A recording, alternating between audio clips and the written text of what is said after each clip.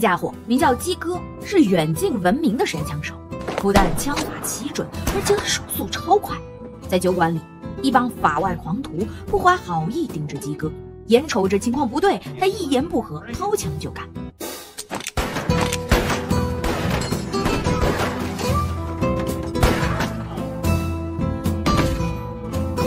就这样，嚣张至极、狂妄自大的鸡哥，凭借着高超的身手，横行在美国西部的荒野中。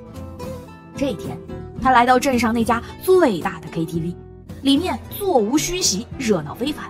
鸡哥一时兴起，想玩两把，可他抓起牌一看，当场就差点去世了。他想要放弃，但为时已晚。这里的规矩就是，只要看过牌，就必须玩下去。那要是鸡哥不同意呢？生死看淡，不服就干呗。能用枪解决的事情，咱尽量就别动嘴呀。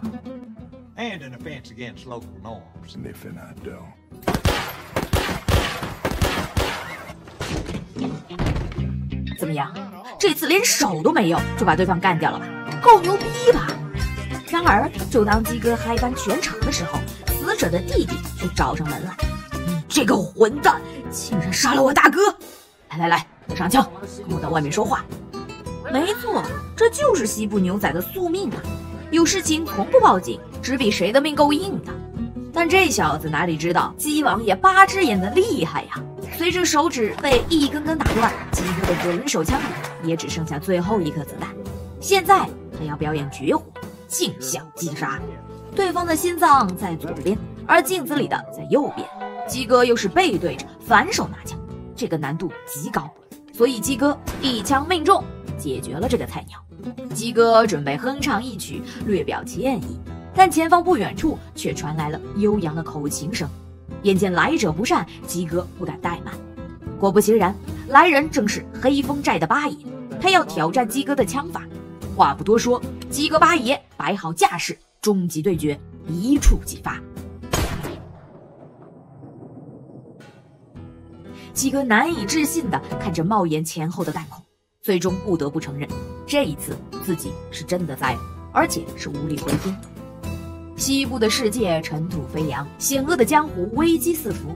你以为可以凭借自己高超的身手为所欲为，可以坐稳老大的位置无人撼动，可以嚣张跋扈地解决掉所有对你 say no 的人？但你有没有听过，出来混，迟早是要还的，因为人外有人。天外有天，强中更有强中手啊！但接下来发生的事情却更加令人抓狂。这个糟老头子浑身挂满了平底锅，他操起一把长枪就朝着牛仔小哥抡了过来。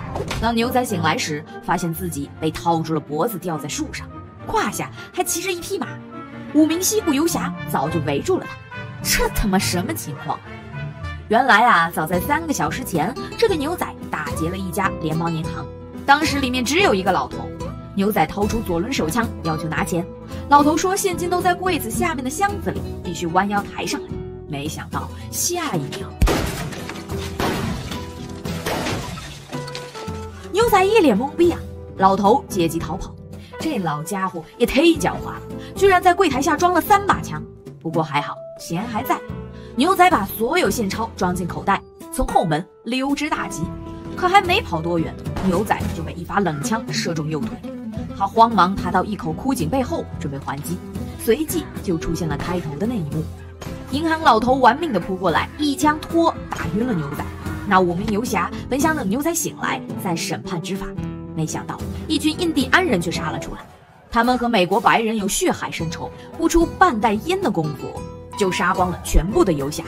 部落族长看着被吊在树上的牛仔，哈哈大笑，转头离开，因为他知道用不着自己动手，这个白人牛仔会死得更加痛苦。果不其然，时间一长，马就会饿。这个畜生顺着地上的荒草一直向前啃，牛仔脖子上的麻绳也越来越紧。再这么下去，真的是生不如死。不过好在此时正好有人赶着羊群经过，牛仔拼命呼救。但这个牧羊人的枪法简直是稀烂的要命啊！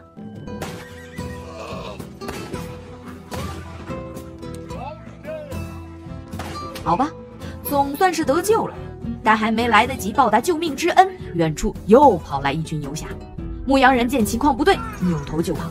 原来这家伙根本就不是牧羊人，而是偷羊的盗贼。牛仔还没有反应过来，就又被抓了起来。这下好了，抢银行的事还没完，又背上了一个偷羊的罪名。不用多说，数罪并罚，牛仔被套上麻绳，送上了绞刑台。他看着围观的人群，若有所思。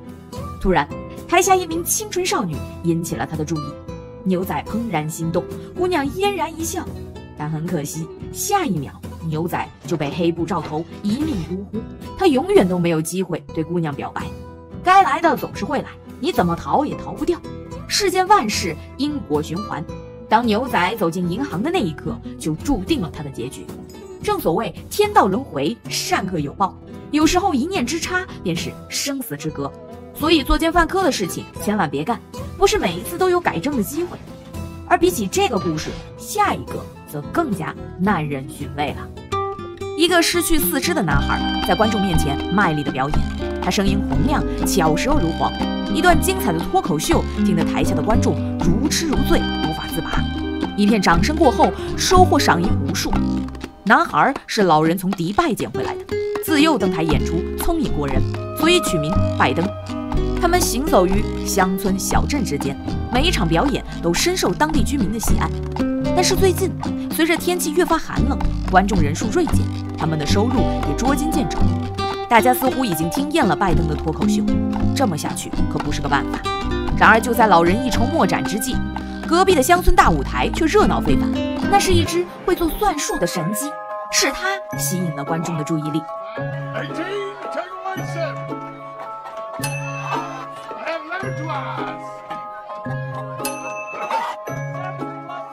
算母鸡，母鸡中的战斗机，哦耶！老人发现了新的生财之道，他不惜重金把计算机买了下来。而拜登的好日子也到了头，老人不再管他的饮食起居，每天都围着母鸡打转。拜登很明白，自己和鸡只不过是老人的赚钱工具，如今自己不仅没有了任何价值，反而还成了累赘。想到这，拜登感到害怕和担忧。果然，不好的事情还是发生了，在白雪堆积的山路上。老人把马车停在了一座大桥边，看着桥下湍急的河水，老人抛下了一块石头，顿时水花四溅。他很清楚，这个高度和水深足够了。老人赶着马车，依旧在风雪中前行，而车里摇晃的鸡笼旁再也没有了拜登的身影。这是一个阴冷刺骨、残忍的故事，看完我竟无话可说。难道？拜登真的连一只鸡都不如。